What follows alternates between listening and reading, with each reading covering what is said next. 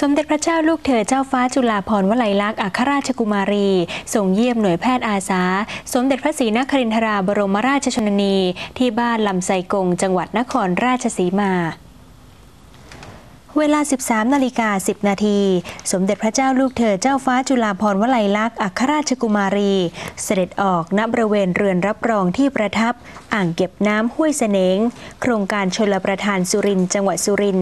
พระราชทานพระวโรกาสให้ผู้บริหารและเจ้าหน้าที่สำนักงานประมงจังหวัดสุรินเฝ้าน้อมกล้าวน้อมกระหม่อมถวายพันปลา 5 ชนิด อาทิ ปลาตะเพียนขาว ปลาตะเพียนทอง และปลาสร้อยขาวรวม 55 ตัว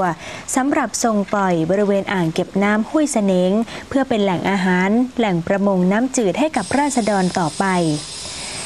จากนั้นเสด็จโดยเฮลิคอปเตอร์พระที่นั่งไปยังโรงเรียนบ้านลำไซกงหมู่ที่ 7 บ้านลำไซกงอำเภอเสิงสาง จังหวัดนครราชสีมา ทรงเยี่ยมการดำเนินงานของหน่วยแพทย์อาสา สมเด็จพระศรีนครินทราบรมราชชนนี และหน่วยแพทย์พระราชทาน สถาบันวิจัยจุฬาภรณ์ที่ให้บริการตรวจรักษาแก่ราษฎร ในการนี้พระราชทานเข็มเครื่องหมายกรรมการ อนุกรรมการ เข็มเครื่องหมายพอสว เข็มพระนามาพิไทยสว แก่อาสาสมัคร จากนั้นทรงเยี่ยมราษฎรบ้านลำไซกงที่เฝ้ารับเสด็จ ส่วนใหญ่ประกอบอาชีพเกษตรกรรม มีประชากร 699 คน 125 หลังคาเรือน พร้อมกันนี้ทรงเยี่ยมผู้ป่วยที่มารับบริการตรวจรักษาโรคทั่วไปและทันตกรรม ส่วนใหญ่ป่วยเป็นโรคระบบทางเดินหายใจ โรคกระดูกและข้อ โดยทรงรับผู้ป่วยไว้เป็นคนไข้ในพระอนุเคราะห์ 6 ราย ซึ่งป่วยเป็นโรคลมชัก 2 ราย ส่วนอีก 4 รายป่วยเป็นโรคหนังแข็ง มะเร็งที่ฝ่าเท้า โรคลิ้นหัวใจรั่ว มะเร็งรังไข่ โอกาสนี้พระราชทานพระวโรกาส ให้สมาชิกหน่วยแพทย์พอสว จังหวัดนครราชสีมา เฝ้ารับพระราชทานพระโอวาทเพื่อเป็นแนวทางในการปฏิบัติงาน และเสริมสร้างกำลังใจแก่ผู้ปฏิบัติงาน ในการสนองพระดำริ ด้านการดูแลสุขภาพอนามัยของประชาชน ก็รู้สึกว่าการทำงานกับผู้ป่วยนี้ต้องคนที่มาทำเนี่ย ต้องมีจิตใจเมตตาเป็นหลักคือว่าต้องสงสารเห็นอกเห็นใจ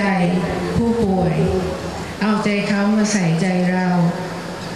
อันนี้ก็ส่วนหนึ่ง แล้วก็อีกอีกคุณสมบัติหนึ่งที่จะขาดไม่ได้เลยคือความอดทน และความการวางอุเบกขา เพราะว่า คนไข้เวลาเขาเจ็บป่วย โดยเฉพาะถ้าเจ็บป่วยด้วยโรคร้าย มักจะเสียกำลังใจ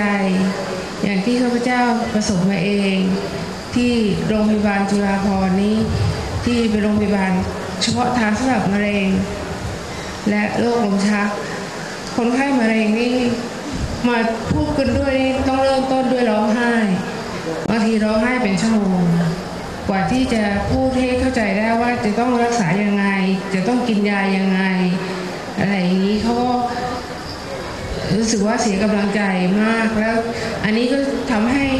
แพทย์พยาบาลและอาสาสมัครทุกคนที่ดีลคนไข้นี่จะต้องอดทนเพราะบางครั้งนี่ใช่มันเสียเสียเวลาแต่ บางครั้งก็ต้องยอมเสียเวลาเพื่อให้คนไข้มีกำลังใจดีขึ้น และร่วมมือกับการรักษายิ่งขึ้น สมเด็จพระเจ้าลูกเธอเจ้าฟ้าจุฬาภรณ์วลัยลักษณ์อัครราชกุมารีทรงสืบสารพระราชปณิธาน ของสมเด็จพระศรีนครินทราบรมราชชนนี ในการช่วยเหลือประชาชนในถิ่นทุรกันดารให้ได้รับการดูแลรักษาพยาบาลที่ดี